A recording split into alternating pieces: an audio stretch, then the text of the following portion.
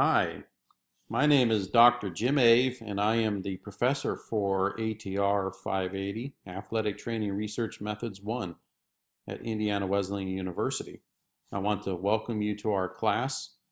Um, the purpose of this presentation is to provide just an overview of our class.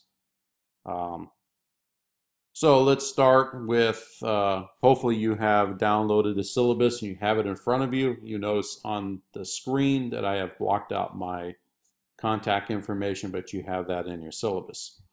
I like to start our classes with a, a Bible verse. And the verse that I picked for this class is Psalm uh, chapter 139, verses 1 through 3 from the English Standard Version. Um, I think King David wrote this, and he wrote, O Lord, you have searched me and know me. You know when I sit down and when I rise up.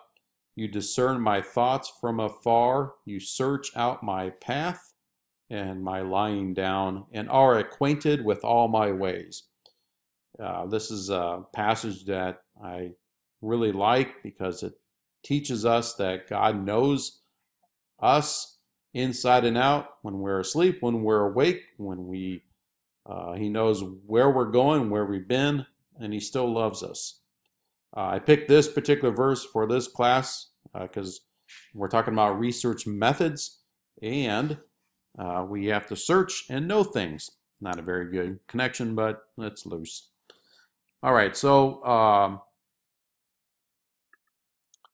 for this class, you're going to take a total of three research methods type courses. Uh, this is the first one. It's uh, where I'll introduce you to uh, various research methods that are used in athletic training, but it also research methods that are used in a broader sense within uh, kinesiology, health, PE, uh, and anything to do with exercise science, those types of things. Um, so the analogy that I use for this class is that in this class, I'll teach you the bones of research. And then in our ATR 590, which is Athletic Training Research Methods 2, we'll go over the, we'll put skin and fat and muscle on research methods, and then an evidence-based, uh, on our evidence-based class, which is ATR 565, we'll apply that information to our clinical practice. So in this class is pretty straightforward. Um, I'll teach you about the methods. Um, and then in the 590 class, you'll apply the material.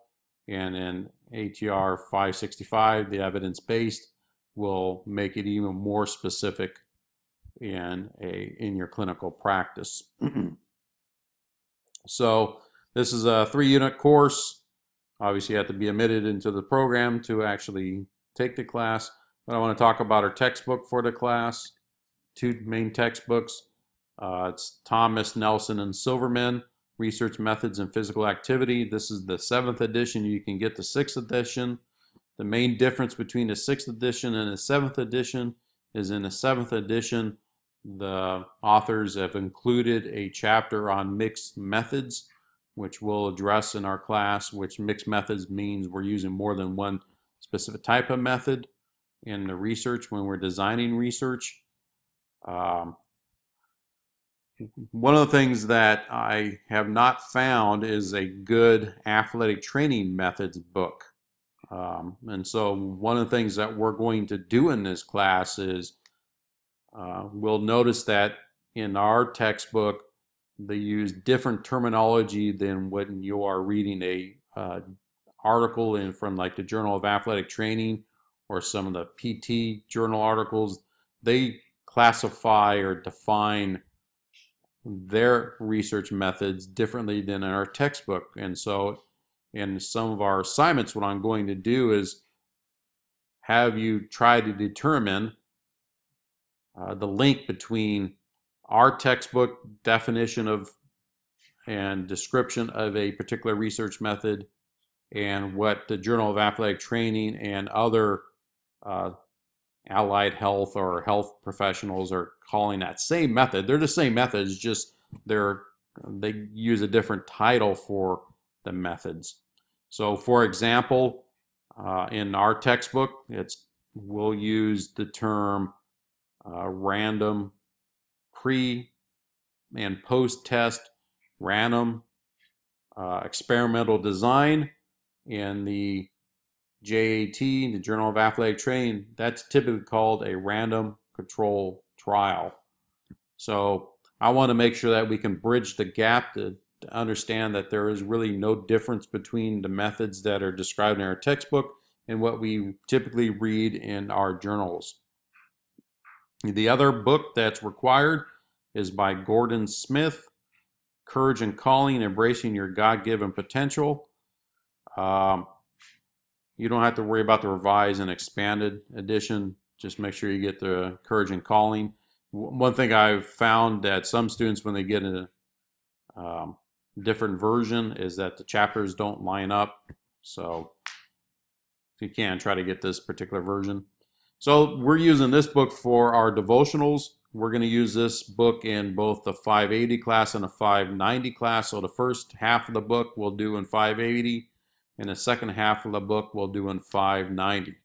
So speaking of the devotionals, just uh, as a reminder, um, um, maybe not so much a reminder, I'm not sure what classes you've had yet, but for the devotionals in the time that you're here at Indiana Wesleyan is that these devotionals can be kind of personal at times. I just want to make sure that we're all, all comfortable dis discussing some of the issues that we're going to talk about in this in my class and in other classes that you're going to be taking here at the university. Um, I want to make sure that we can treat one another with uh, respect uh, we may not always agree with one another with our opinions and some of the things that we're going to talk about, and that's okay. Uh, one of the things that kind of drives me nuts now is that we can't just have a discussion about things um, and be okay with disagreeing with another person about some things. It's okay to disagree with some people. You, we all shouldn't agree on, on everything. God didn't make us that way. He gave us the ability to have our own opinions about things. But we can still treat with one another with respect and with love. And that's what I want to do with our time of our um, devotionals and respect one another, even if you may not agree. I may not agree with some of the things that you're going to post on the devotionals, and that's okay. Um, so, just so you know how we're going to work the devotions, week one will be more of an, I'll ask you some questions in the, in the uh, forum discussion board. You will answer those discussions and you'll uh, be required to uh, read and respond to two other students. So then in week two, we'll start our discussion about this uh, Courage and Calling book. You'll read chapter one, uh, provide how this material can impact you both professionally and personally.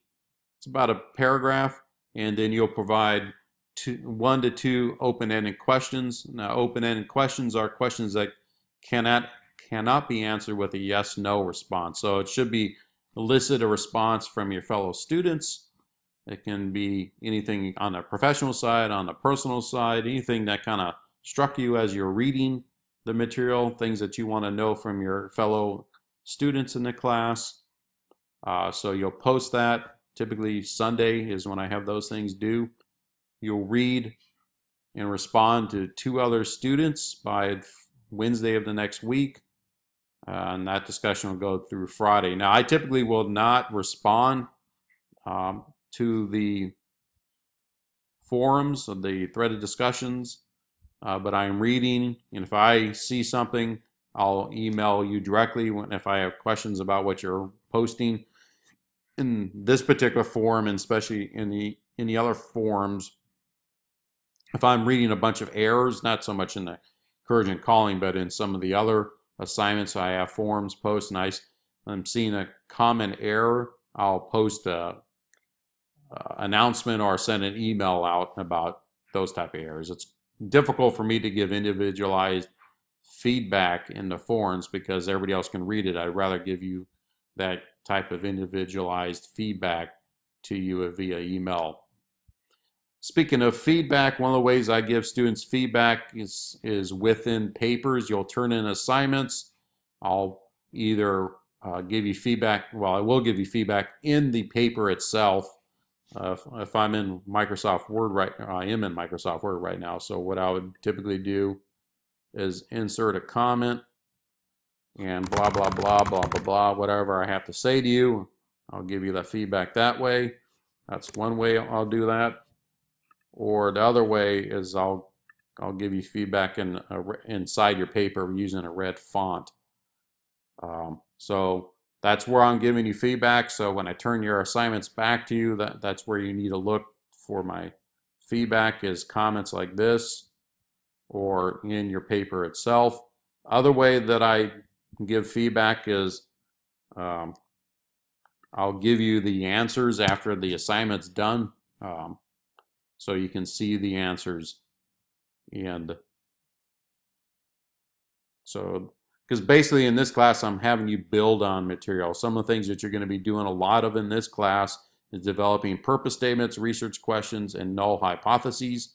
And I teach you how to do that over and over and over again because to me that's the bones of research is we have to understand what is our research question what's the purpose of our research and what do we expect uh, to happen. And so you'll see that a lot in this class and especially in the 590 class. So you'll see in this class that oh let's go ahead and go into our class. Um, this is a class it's not the only class so just so you can see what this class looks like. So I'm in the home, home page of our class. Hopefully by the time you've started watching this video, you've made it to, um, to this video. So you're to, typically I would suggest go to content. I'm, I have created a video to teach you how to get to this too, but uh, you're here right now I have another video about success in class. And the week one overview is going to provide you an overview of the class. And then on this page is uh, some videos that I've made about how about the research process. Now these videos were made uh, for my class at the university I work at, which is Fresno Pacific University um, and from a class called KIN, I'm right here, Research Methods in Kinesiology. Uh, I made these videos quite a while ago, so some of these are not the best videos in the world. Um, so you'll hear me talk about certain things that have to do with Fresno Pacific.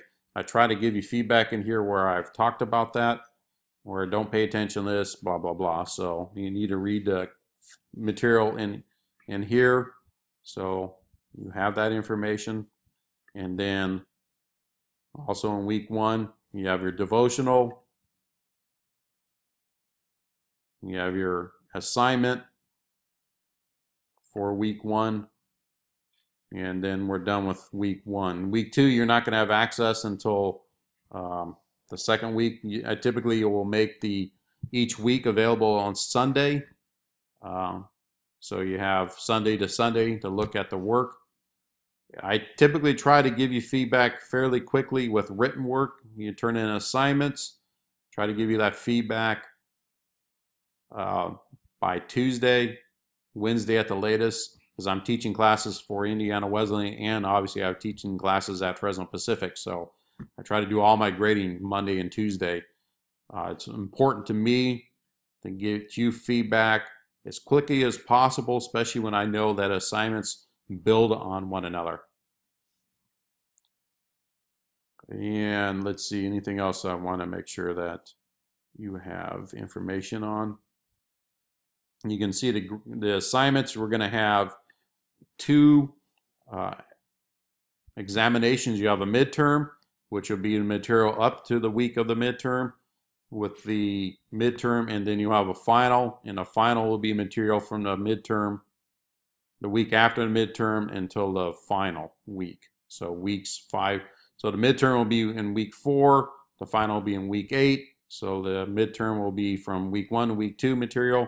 The final will be material from week five, six, seven, and eight. You'll have two types of exams. You'll have an in-class multiple choice type uh, examination and a take-home. The take-home will be based on the assignments I've been doing. The uh, in-class multiple choice exam will be based on your readings uh, from the textbook. So each of those exams are worth 100 points, so that's 200 points of the class. You have 11 uh, learning activities. Um, oops, that's a mistake on my syllabus. That should be 10 points each. Uh, so you have 11 assign 11 learning activities, 10 points assignment, 10 points each assignment for 110 points total. And then your devotional discussions are 10 points each for 70 points. And here's the grading scale. Um, and if you have questions about this class, please, please, please contact me. One area that you can contact me is we go back into our class. We go to the course dashboard, see the course forums.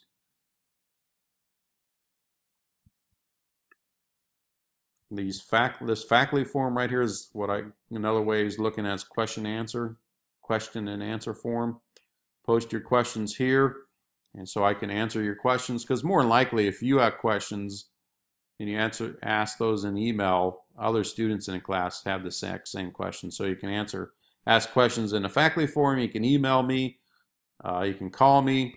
It's best that if we need to talk on the phone is that we schedule an appointment because I'm pretty busy. Uh, and I want to make sure I can dedicate time that we can talk. If you do just call me, make sure I probably will not answer. I typically do not answer my cell phone if I don't recognize the number. That's okay. Just leave me your name. Um, tell me that you're in my class and you want to talk to me about an assignment.